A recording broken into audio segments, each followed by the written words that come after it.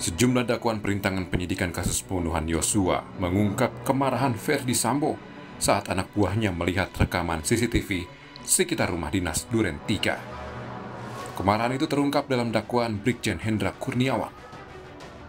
Ferdi Sambo marah karena anak buahnya melaporkan rekaman CCTV berbeda dengan kronologi yang disampaikan Sambo.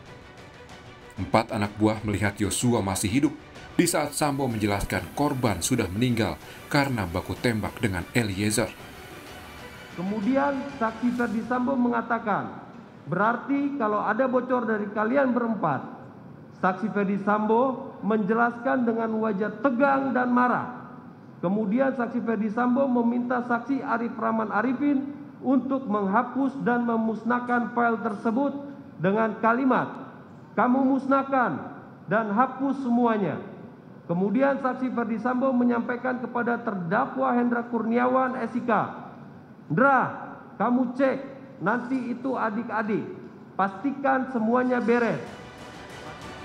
Kemarahan Sambo diungkap jaksa, yakni saat Hendra Kurniawan dan Arif Rahman Arifin menghadap Sambo pada 13 Juli atau lima hari setelah kematian Yosua. Tim Liputan Kompas TV